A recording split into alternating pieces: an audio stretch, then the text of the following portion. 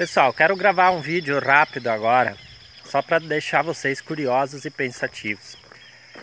O que são ciclos produtivos dentro de uma propriedade, como a gente pode ver isso para conseguir o melhor retorno possível uh, quando a gente pensa em retorno financeiro e também utilizar o máximo que a gente tem disponível na propriedade. Vou dar um exemplo bem, bem simples. Eu tenho a produção da horta, que está aqui atrás de mim, né? Todos os restos da horta, como eu já fiz em outro vídeo, resto de folha, alguma coisa que sobra, vão para as galinhas que estão aqui no meu galinheiro. Né? As galinhas estão aí, ó, produzem ovos, geram renda com os ovos, comendo em parte da alimentação aqueles restos da horta que antes ficavam na horta.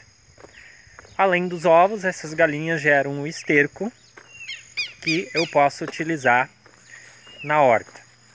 Porém, eu posso também utilizar o esterco no meu biodigestor que hoje está sendo instalado. Se eu fizer isso, eu vou estar criando um novo ciclo produtivo. Eu vou estar no terceiro ciclo produtivo da propriedade. Ou seja, eu vou estar utilizando o esterco das aves no biodigestor e esse esterco vai estar produzindo gás e vai estar produzindo uh, o líquido que sobra, no caso churume, um esterco muito melhor do que aquele esterco inicial lá colocado direto na horta.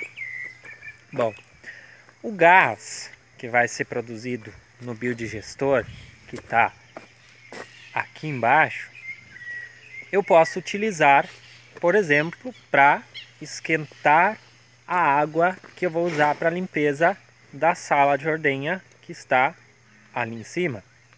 Ou seja, vou estar tá criando um, mais um produto, não vou estar tá criando renda diretamente, mas eu vou estar tá deixando de gastar energia utilizando algo que eu estou produzindo aqui no meu biodigestor.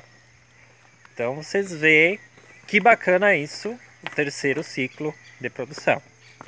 E aí a gente vai para o quarto ciclo de produção, que é o chorume, né, o líquido que sai do biodigestor, que é um produto altamente uh, eficiente para adubação que eu vou utilizar lá em cima na minha horta para iniciar de novo o ciclo da produção de hortaliças.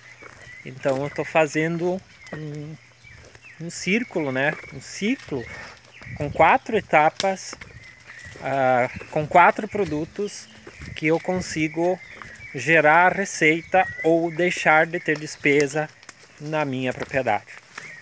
Então isso que a gente como produtor precisa ver, principalmente a gente que trabalha com pequena propriedade, é utilizar ao máximo os recursos disponíveis que a gente tem para a gente conseguir o máximo de renda na propriedade e para a gente conseguir uh, a redução de custos ao máximo na nossa propriedade. Então tudo é um ciclo, tudo é um ciclo ao nosso redor e a gente precisa uh, enxergar isso e usar isso a nosso favor dentro da nossa propriedade. Então olhe a sua propriedade com outros olhos. Olhe tudo que você tem na sua propriedade. Faça um ciclo na sua propriedade. Você verá que tem muita coisa para ser explorada para você utilizar as coisas ao máximo e para você potencializar a renda do seu negócio.